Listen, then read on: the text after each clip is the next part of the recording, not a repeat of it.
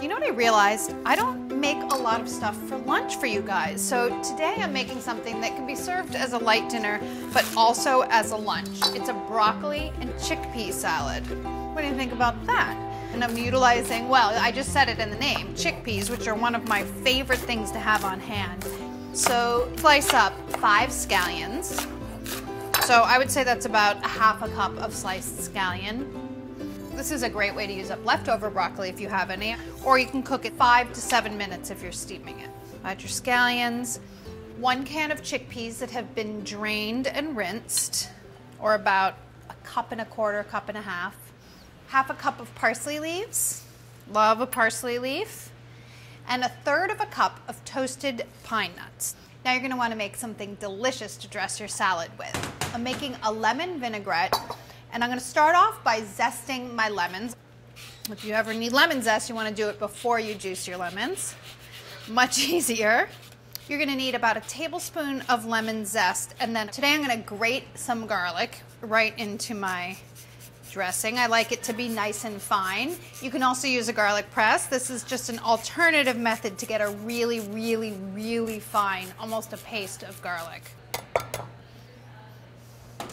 Then you'll need a quarter cup of lemon juice. So let's see how much we get from one lemon. Okay, good. Six tablespoons of olive oil. I'm just doing it by the way it looks. Needs to be a little more than half olive oil. Two teaspoons of Dijon mustard. And a teaspoon of honey and then salt. And that's your delicious dressing. It's actually my fave. Well, one of my faves. I'm not gonna play favorites. That's it.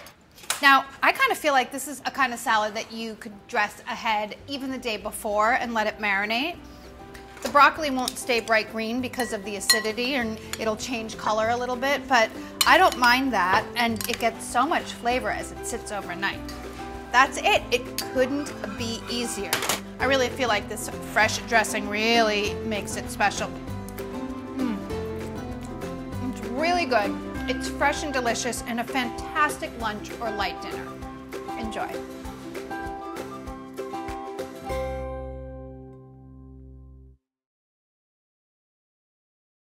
Guys, thanks for watching this video. Be sure to click here if you want to subscribe and click over here if you want to continue watching more great videos like this.